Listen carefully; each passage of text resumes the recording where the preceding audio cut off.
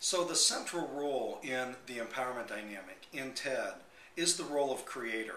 And the creator role stands as the antidote to the role of victim in the dreaded drama triangle.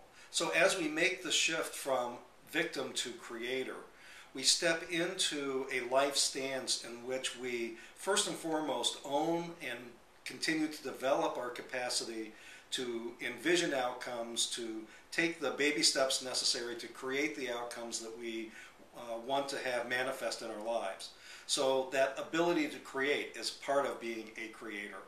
The other aspect of being a creator that's just as important is being able to really know that we can be at choice no matter what life circumstances we face.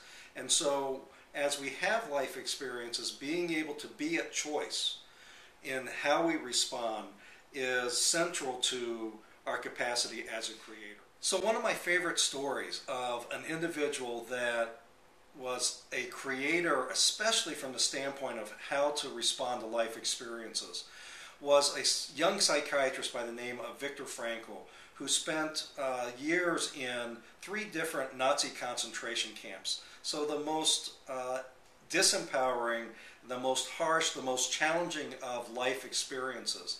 And yet, he had a realization during that experience that he could be at choice as to how to respond to the circumstances he found himself in. And so I want to share with you a quote that is in The Power of TED that comes from Viktor Frankl's writings.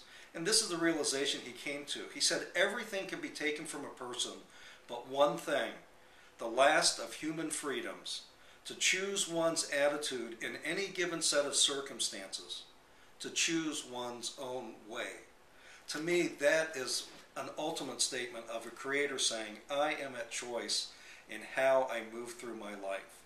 So here's to the creator in you.